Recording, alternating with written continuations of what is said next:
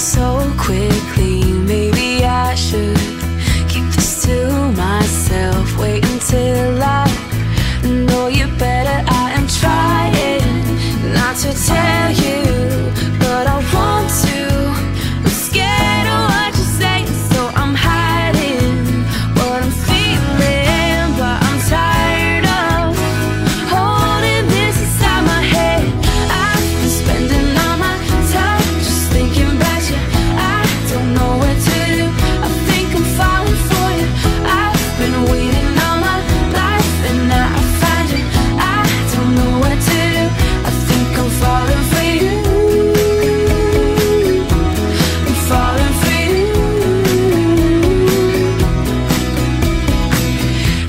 standing here and you hold my hand, pull me towards you, and we start.